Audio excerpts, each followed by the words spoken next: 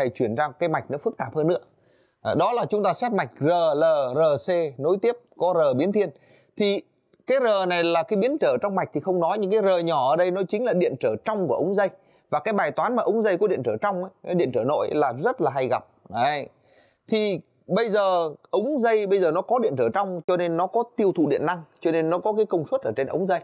Và cái mạch điện bây giờ nó cũng tiêu thụ điện năng cho nên nó, nó có cái công suất toàn mạch nhớ nhá.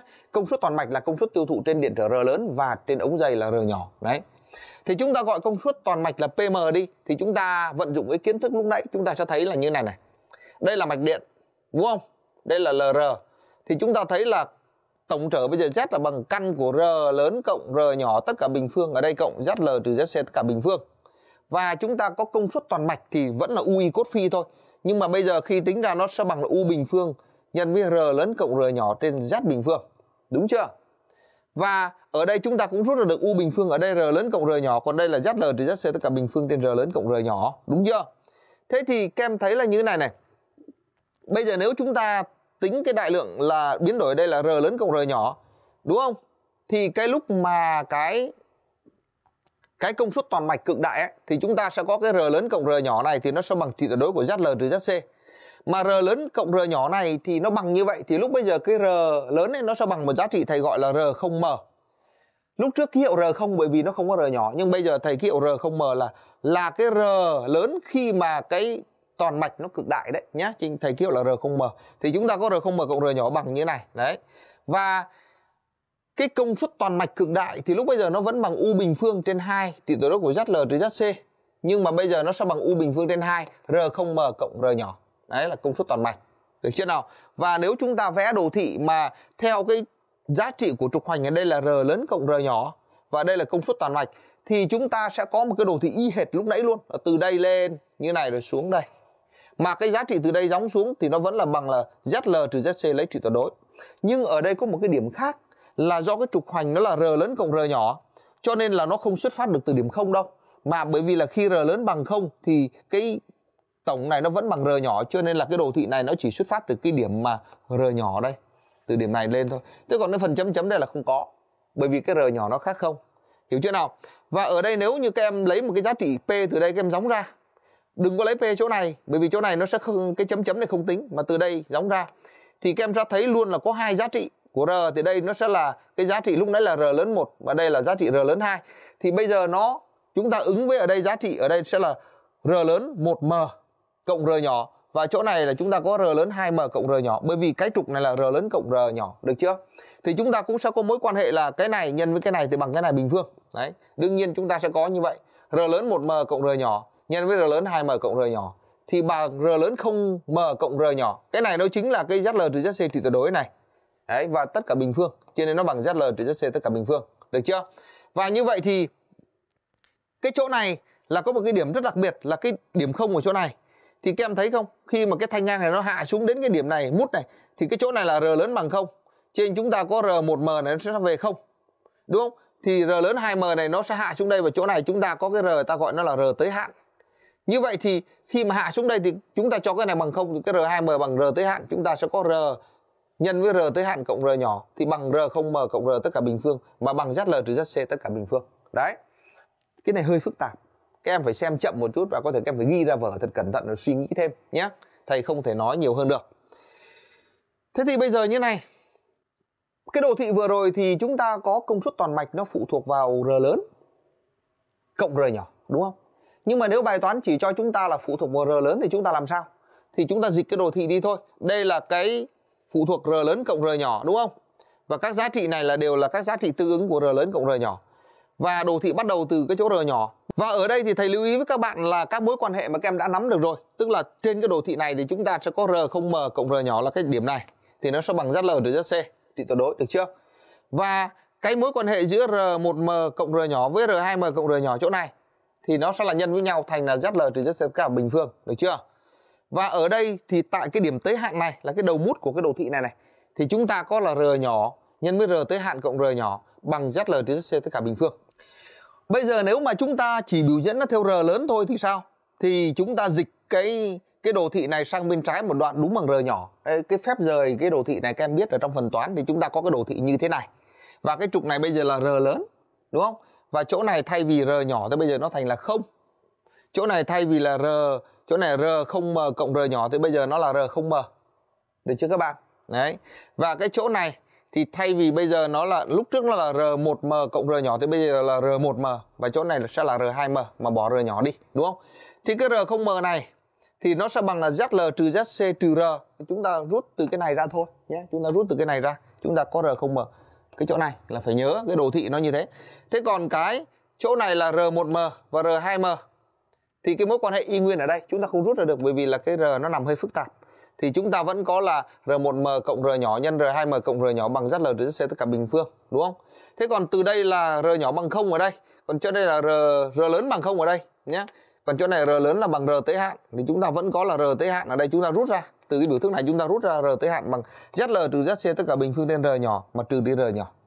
Như vậy thì mặc dù chúng ta đọc số liệu trên cái đồ thị này nhưng mà đầu óc chúng ta phải liên tưởng tới cái đồ thị này. Còn nếu không có mối liên kết thì chắc chắn là sẽ không bao giờ làm được đâu. Đấy cho nên là cái bài này nó phức tạp là ở cái điểm như vậy Bây giờ ta vào một cái bài là đặt điện áp xoay chiều của U bằng 90V lên hai đầu mạch gồm một tụ điện, một cuộn dây và một biến trở thuần có điện trở R mắc nối tiếp. Người ta nói cuộn dây này thì các em phải mặc nhiên coi nó có điện trở nhé. Kết quả phụ thuộc của công suất toàn mạch P theo biến trở R lớn được mô tả trên đồ thị này. Tính P mắc. Như vậy là cái đồ thị này là ứng với cái trường hợp mà ống dây có điện trở nội bởi vì cái xuất phát điểm của nó không phải tại gốc tọa độ mà nó tại điểm này, đúng không các em? Và nhìn vào đây các em sẽ thấy cái gì? Là nó đạt cực đại tại chỗ này thì chỗ này là 20 mà trục này là trục R lớn như vậy chỗ này nó chính là R0M tức là chỗ mà R lớn có giá trị để cho P cực đại. Thế còn cái chỗ này khi mà nó hạ xuống đây là bằng không thì giao ra bên này thì nó chính là R tới hạn bằng là 50 ohm, được chưa? Thế còn nếu như mà từ cái điểm bất kỳ chúng ta gióng ra thì chúng ta có hai cái vị trí này là R1 và R2M đúng không? Thì chúng ta sẽ có mối quan hệ là R1M cộng R nhỏ nhân R2M cộng R nhỏ bằng R0M cộng R nhỏ tất cả bình phương. Đấy. Và khi mà R1M này bằng 0 thì R2M này đúng bằng R tới hạn là bằng 50. Đúng chưa? Chứ chúng ta thay số và chúng ta có R nhỏ này. Nhân R tới hạn cộng R nhỏ này bằng R0M cộng R nhỏ tất cả bình phương. Thì ở đây chúng ta đã có R tới hạn bằng 50 rồi. Còn R0M này là cực đại chỗ này bằng 20 chúng ta thay số vào thì chúng ta sẽ tính được là cái R nhỏ bằng 40 ohm. Đấy. Và R nhỏ bằng 40 ohm thì bây giờ chúng ta sẽ tính cái công suất toàn mạch thôi. P max nó sẽ bằng U bình phương trên 2 R0M cộng R nhỏ. Thì U này có rồi, 90V rồi. R0M ở đây tính được rồi đúng không? À, đã có đây là bằng à, 20 rồi và R nhỏ này tính là bằng 40 thay số vào thì chúng ta được là 67,5W. Đấy. Thì cái cái số liệu được cho trên đồ thị nhưng mà khi hỏi họ sẽ hỏi các cái giá trị như thế này. Bây giờ ta tính thêm một bài nữa nhé. Đặt điện áp xoay chiều lên hai đầu mạch gồm một tụ điện, một cuộn dây có điện trở nội bằng 30 ohm và một biến trở thuần có điện trở R lớn mắc nối tiếp. Đấy cuộn dây được có điện trở nội. Kết quả sự phụ thuộc của công suất toàn mạch theo P theo biến trở R được mô tả trên đồ thị tính Rx. À như vậy người ta không hỏi các em là là cái công suất cực đại mà người ta hỏi Rx. Thì nhìn từ đây ra thì các em thấy nghe Rx nó chính là R tới hạn đấy, đúng không? Như vậy cái đồ thị này cho chúng ta là cái gì nào? R nhỏ bằng 30 ohm này, đúng không? Cho chúng ta là cái r không m ở đây toàn mạch bằng 30 ohm nữa và bắt chúng ta tính Rx thì chúng ta dựa vào những cái mối quan hệ ở cái đồ thị à, mà cái trục này nó là r lớn cộng r nhỏ nhé thì chúng ta sẽ biết. Ở đây là viết cho cái r tới hạn này thì chúng ta có r nhỏ nhân r tới hạn cộng r nhỏ thì bằng r không m cộng r nhỏ tất cả bình phương, đúng chưa? Ở đây r nhỏ biết rồi. Đấy 30 ohm rồi. Thì chúng ta có 30 nhân với rx cộng 30 thì bằng 30 cộng 30 tất cả bình phương. Thì từ đây chúng ta tính được rx bằng 90 ohm như vậy là cái bài toán có vẻ khá là phức tạp, nhưng mà khi tính ra rất nhanh nhưng mà tính ra nhanh như vậy, nhưng mà trong phòng thi chưa chắc đã tính ra nhanh, bởi vì lúc bây giờ có thể các em đã quên hết các mối quan hệ này rồi, và các em sẽ phải lần lại, các em sẽ phải lần lại trong đầu mình hoặc trên giấy nháp, thì nó sẽ mất thì giờ một bài nữa, đặt điện áp xoay chiều có U bằng 200V lên hai đầu mạch gồm cuộn dây tụ điện và biến trở thuần R mắc nối tiếp. Thay đổi R lớn thì công suất toàn mạch phụ thuộc R lớn như trên hồ, đồ thị tìm P mắc. Đây. Thì nhìn vào đồ thị này các em thấy cái gì? Thứ nhất là cái công suất tới hạn này là bằng 400 watt P lúc tới hạn. Và cái R tới hạn ở đây là bằng 60 60 ohm. Được chưa nào? Và ở đây bài toán cho U bằng 200V bây giờ tìm P max như thế nào? Thì chúng ta thấy như này này. Cái P max là bằng U bình phương trên 2 trị tuyệt đối của ZL trừ ZC cái này biết rồi. Và ở đây là tại cái R tới hạn này chúng ta có mối quan hệ là R nhân R tới hạn cộng R nhỏ bằng ZL trừ ZC tất cả bình phương. Cái này nói mấy lần rồi, đúng không? Thì chúng ta đã có là R tới hạn ở đây là bằng 60 đúng chưa nào? Thì ở đây chúng ta sẽ có cái này này, R này 60 cộng R nhỏ bằng ZL trừ ZC tất cả bình phương. Thì chúng ta có P tới hạn, thì chúng ta chỉ việc là, chúng ta chỉ việc thay những cái này vào thôi. Chúng ta thay cái chỗ ZL trừ ZC ở trong cái Z ấy, là thành cái R nhân 60 cộng R nhỏ. Thì chúng ta sẽ có P tới hạn bằng U bình phương R nhỏ. Trên R bình phương cộng ZL trừ ZC tất cả bình phương. Đấy là P tới hạn. Và để tính P tới hạn này thì chúng ta ờ, ở đây chúng ta có P tới hạn bằng 400 đúng không? Ờ, mà chúng ta sẽ có là ở đây ZL trừ ZC tất cả bình phương là thay cái này vào nữa, đúng không? Thì chúng ta có cái phương trình này. Các em biến đổi trên giấy nháp ra, chúng ta sẽ tính được R nhỏ bằng 20 ohm. 20 ohm thì chúng ta thay ngược trở lại. Đấy, thay ngược trở lại đây để chúng ta tính được ZL trừ ZC bình phương này. R nhỏ biết rồi, U này là bằng 200V chúng ta thay ngược trở lại, chúng ta sẽ tính được là ZL trừ ZC bằng 40 và ở đây chúng ta sẽ tính được P max nó sẽ là bằng 500W Bây giờ ta xem tiếp một chút về phần lý thuyết nhé Quay lại này, Bây giờ đây là công suất mạch PM Mà nó phụ thuộc vào R lớn cộng R nhỏ như thế này, Đúng chưa? Và nó bắt đầu từ R nhỏ, Có cái chỗ chấm chấm này không có. Và khi chúng ta chuyển sang cái đồ thị giữa là P so với lại R lớn không Thì nó như thế này. Và R lớn nó sẽ xuất phát điểm từ đây. Nó đạt cực đại tại chỗ là R không M đây, Và chỗ này là R tới hạn, được chưa? Cái này các em biết rồi. Nhưng mà ở đây có một cái vấn đề như này các em ạ. Cái đồ thị này thì thầy đang cố tình cho cái R nhỏ này nó nhỏ hơn cái thị tuyệt đối của ZL trừ ZC. Cho nên là khi mà cái R lớn nó thay đổi từ 0 trở lên, thì cái tổng R lớn cộng R nhỏ nó bắt đầu từ chỗ này thì một lúc sau nó mới đi qua cái điểm thị tuyệt đối của ZL trừ ZC cho nên đồ thị nó từ đây nó lên cực đại và nó xuống. Như vậy đồ thị này nó có cực trị, đúng không? Nó có cực trị. Nhưng mà nếu trong trường hợp mà R nhỏ nó lại lớn hơn cái thị tuyệt đối của ZL trừ ZC thì sao? Thì cái R nhỏ nó sẽ nằm trong bên này. Đúng không? Nó nằm trong bên này. Và lúc bây giờ cái đồ thị của chúng ta như thế này này là cái ZL thì sẽ nằm ở bên bên trái, còn cái R nhỏ nằm bên này. Và đồ thị thực tế nó chỉ có cái phần đi xuống này thôi, chỉ có cái phần nghịch biến này thôi. Chứ đồ thị này hoàn toàn không không đặt cực trị, đúng không? Và trong trường hợp này thì chúng ta không bao giờ tìm được hai giá trị của cái R để cho cùng một cùng một cái công suất này. Đấy. Do đó mà cái đồ thị thực tế phụ thuộc vào R lớn, nó là một đường đơn điệu giảm như thế này, chứ nó không có cực đại, bởi vì nó bắt đầu từ đây, được chưa? Và cái này nếu mà dựa vào đây để mà tạo mấy câu hỏi thì cũng hay phết đấy, rất là hay. Đấy. Đồ thị nó sẽ đơn điệu giảm. Đây ví dụ đặt điện áp xoay chiều vào hai đầu mạch điện gồm một cuộn cảm tu điện và biến trở thuần R mắc nối tiếp. Cho cảm kháng bằng 40 ohm và dung kháng bằng 100 ohm chẳng hạn. Sự phụ thuộc của công suất toàn mạch vào giá trị R lớn của biến trở được mô tả như trên hình vẽ.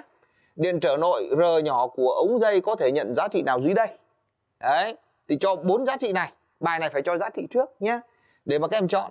Thì các em nhìn thấy cái đồ thị này thì R nhỏ buộc phải lớn hơn ZL trừ ZC. Mà ở đây ZL trừ ZC thì bài toán cho là bằng 100 trừ 40 bằng 60 ohm. Như vậy R nhỏ chỉ có thể nhận giá trị bằng 90 ohm thôi. Như vậy bài này biết thì suy luận khá nhanh. Nhưng mà nếu không biết thì cái bài này cũng đau đầu như óc phết đấy. Chứ không phải đơn giản. Đấy. Bây giờ chúng ta sang cái phần tiếp theo. Nãy giờ là chúng ta tính cái công suất toàn mạch, bao gồm cả công suất trên điện trở R lớn cũng như là công suất trên ống dây vì nó có điện trở R nhỏ. Nhưng mà cái dạng mạch R lớn, L lớn, R nhỏ C này có thể người ta lại hỏi riêng cái công suất trên cái cái biến trở R lớn thôi. Bởi vì cái công suất đó nó mới có ích, cái còn cái công suất trên ống dây thường là nó tỏa nhiệt và nó vô ích. Đấy. Thì người ta hỏi công suất PR trên R lớn. Đấy. Thì chúng ta thấy cái mạch như thế này. Đúng không? Và chúng ta có là Z bằng là căn của R lớn cộng R nhỏ bình phương cộng ZL đến C bình phương, cái này biết rồi. Đấy. Và PR thì bằng Y bình phương R nhỏ R lớn. Cái này là lúc nào cũng đúng để tính công suất trên một điện trở Y bình phương R thì lúc nào cũng đúng, mà y này là là cái cường độ dòng điện hiệu dụng. Và nó bằng u bình phương r trên z bình phương. Thế ở đây chúng ta đưa cái z vào. Chúng ta đưa cái z bình phương vào nhé xong đó thì chúng ta chia r xuống dưới. Thì cái này các em tự biến đổi. Thì nó ra một cái biểu thức là như này. Pr nó bằng u bình phương. Ở dưới này chúng ta có r lớn này. Cộng với r nhỏ bình cộng zl thì rất cả bình phương trên r lớn này. Và nó cộng với hai r nhỏ ở đây. Thì bây giờ cái chỗ này thầy tô vàng, tức là chúng ta xét riêng cái chỗ này ra thì chúng ta thấy là cái cụm này ấy, thì chúng ta áp dụng bất đẳng thức Cauchy vào giống như là lúc trước chúng ta làm. Thì nó sẽ lớn hơn bằng là hai căn AB tức là hai lần căn của cái R này. Nhân với cái cụm này thì cái R này nó sẽ rút gọn cho nhau. Cho nên cuối cùng nó lớn hơn bằng là hai căn của R nhỏ bình phương cộng ZL trừ ZC tất cả bình phương đúng không? Và cái cụm này nó sẽ đạt giá trị cực tiểu bằng thế này. Khi nào? Khi là cái R này nó sẽ bằng một giá trị là R không R lúc nãy thầy viết là r không m là tính cho toàn mạch nhưng r không r là để cho cái công suất trên r này nó cực đại thì r không r thì lúc mà R không R nó bằng căn của R nhỏ bình phương cộng ZL trừ ZC tất cả bình phương thì nó sẽ đạt được cái này. Tại sao chúng ta biết như vậy? Bởi vì chúng ta cho cái số hạng này bằng số hạng này rút ra cái này, đúng không? Và tóm lại là cái mẫu số này nó sẽ là y lớn thì y lớn này nó sẽ lớn hơn bằng cái giá trị là gì? Là bằng 2R không R chính là hai cái này này mà cộng với 2R nhỏ. Y lớn này lớn nó bằng 2 R nhỏ cộng 2R không R. Và dấu bằng này xảy ra khi R nó sẽ bằng R không R bằng cái này, được chưa? Và lúc bây giờ thì các em thấy không? Cái mẫu này nó sẽ đạt cực tiểu ở chỗ này.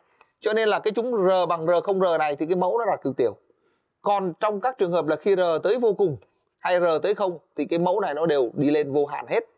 Như vậy chúng ta cũng sử dụng cái phương pháp là đoán nhận cái hình dáng đồ thị thôi. Chứ chúng ta không khảo sát hàm số theo kiểu đạo hàm vân vân vì cái đó rất đau đầu nhé. Đấy. Từ cái này chúng ta rút ra được hình dáng này, được chưa? Và ở đây chúng ta cũng thấy là cùng một giá trị của y chúng ta kéo ra đây thì chúng ta sẽ tìm được hai giá trị của r r1r và r2r. Đấy, thì quan hệ của r1r r2r như thế nào thì rất đơn giản thôi. Chúng ta cho r1 vào đây. Rồi chúng ta cho r2 vào đây thì hai cái đó bằng nhau. Đúng không? Chúng ta có mối quan hệ là r1r cộng r0r bình phương lên r1r bằng r2r cộng r0r bình phương lên r2r. Đấy. Và từ đây rút ra được cái mối quan hệ r1r nhân r2b r bằng r0r bình phương. Thì đây là cái mối quan hệ là bắt đầu tương đối là là khó nhớ rồi đấy. đấy. Thì nhìn cái đồ thị này thì chúng ta có cái này. Bây giờ chúng ta xét PR nào. Thì chúng ta biết PR là bằng cái này. Thì cái công thức này chúng ta vừa, chúng ta vừa biến đổi ra, đúng không? Thì lúc bây giờ cái R không, R thì nó bằng như thế này. Là cái chỗ mà cái mẫu số này nó đạt cực tiểu. Và chúng ta có cái đồ thị là gì? Khi cái mẫu số bằng vô cùng thì cái công suất trên R bằng không. Khi cái uh, mẫu số bằng cực tiểu thì cái công suất đặt cực đại ở đây. Và khi mà cái mẫu số này ra vô cùng thì đây lại tiệm cận về không. Và cái dạng PR này thì nó khá là đẹp nó khá là đơn giản đúng không? Đấy. và bây giờ thì từ cái đây chúng ta có ngày PR max. PR max thì cái cụm này nó sẽ bằng hai lần R không R cho nên chúng ta sẽ có bằng U bình phương lên 2R nhỏ cũng hai lần R không R. Để tính được nhé và nếu từ đây chúng ta giống ra thì chúng ta sẽ có hai giá trị của R R1R và R2R ở đây. Thì chúng ta cũng có mối quan hệ là R1R nhân R2R bằng R không R tất cả bình phương. Có nghĩa là bằng R nhỏ bình phương cộng 2 ZL trừ ZC tất cả bình phương. Đấy. Thì nó cũng khá là phức tạp, đúng không? Bây giờ để nhớ được cái đó thì các em phải tự biến đổi thôi. Và thầy cũng nói luôn là những bạn mà chỉ muốn điểm từ 9 trở xuống thì đừng có đừng có sa đà vào phần này quá, nhé. Đặt điện áp xoay chiều vào hai đầu đoạn mạch, gồm biến trở thuần R lớn, tụ C và một cuộn dây mắc nối tiếp, cho cảm kháng ZL bằng 50 ohm, dung kháng ZC bằng 20 ohm. Điều chỉnh R lớn để công suất toàn mạch cực đại. Từ giá trị này của biến trở để công suất trên biến trở cực đại thì cần tăng R thêm 10 ohm nữa. Đấy. Tính điện trở nội của cuộn dây. Bài này không cần phải vẽ đồ thị gì hết. Chúng ta chỉ tính thôi là P toàn mạch mắc khi nào? Khi mà R nó bằng R không M và nó bằng trị tuyệt đối của ZL trừ ZC trừ R nhỏ. Đúng không? Và nó bằng 30 trừ R nhỏ. Thì cái này là cái ở cái phần 1 đấy, là tính công suất toàn mạch. Thế còn khi PR mắc tức là công suất trên biến trở mắc khi nào thì nó sẽ bằng là R không R. Thì bằng căn của R nhỏ bình phương cộng ZL z C tất cả bình phương và nó sẽ bằng căn của R nhỏ bình phương cộng 30 bình phương. Cái 30 này là nhờ các cái con số đã cho đây, đúng chưa? Thì theo bài ra thì phải tăng thêm 10 ôm nữa, đúng không? Cho nên chúng ta sẽ có là cái này và tăng thêm 10 ôm nữa ra cái này. Cho nên chúng ta có phương trình là 30 từ R cộng 10. Đúng không? Thì ở đây bằng R nhỏ cộng 30 bình phương tức là 30 trừ r cái chỗ này này ở chỗ này này mà cộng thêm 10 ôm nữa thì nó ra cái này ra cái này và bây giờ chúng ta bình phương lên chúng ta giải cái phương trình bậc 2 chúng ta tính là được r nhỏ bằng 8,75 ôm và đây chính là đáp án của cái bài mà chúng ta cần tìm Bài này đặt điện áp xoay chiều có U bằng 120V, tức là điện áp hiệu dụng toàn mạch. Vào hai đầu mạch điện gồm một cái cuộn cảm, một tụ điện và biến trở thuần R mắc nối tiếp. Sự phụ thuộc của công suất PR trên biến trở vào giá trị R lớn của biến trở được mô tả như hình vẽ. Tính điện trở nội R của ống dây. Thì đây là cái đồ thị nó rất là rất là đẹp như thế này đúng chưa? Và chúng ta thấy P max ở đây trên ống dây là bằng 180W và nó đạt được khi mà cái R lớn này bằng 30 ohm. Thế bây giờ làm sao tính được R nhỏ? Thì chúng ta biết là như này. PR ấy là bằng U bình phương, mà chia cho R lớn đây cộng với R nhỏ bình phương cộng ZL đến C tất cả bình phương, trên R lớn mà cộng với 2R nhỏ, cái này biết rồi, đúng không thì ở đây PR max đạt được khi mà cái cụm này nó bằng 2R nhỏ à 2R nhỏ cộng với 2R không R, đây này, được chưa? Và cái r không r ở đây là bằng 30 ohm. Đúng chưa nào? Cái P max ở đây là bằng 180. Cái U bình phương ở đây thì U bằng 120V. Chúng ta thay vào. Chúng ta sẽ có 180 ở đây bằng 120 bình phương trên 2r nhỏ cộng 2 nhân 30 thì giải ra được r nhỏ bằng 10 ôm thôi. Và bài này thì không có gì khó cả. Tất nhiên là cái phần này có thể chế ra những cái câu hỏi cực kỳ hay và cực kỳ phức tạp. Nhưng mà ở đây là ở trên truyền hình và thầy không thể nào mà dạy quá chi tiết vào những cái chỗ này được. Thì các em tìm hiểu thêm ở các cái sách. Và thầy hy vọng là cái nội dung này thì nó nó vừa đủ cho các em có thể thi được tốt. Còn nếu quá xa đà vào những cái dạng toán cao hoặc là phức tạp như này thì đôi khi nó lại có hại chứ không có lợi.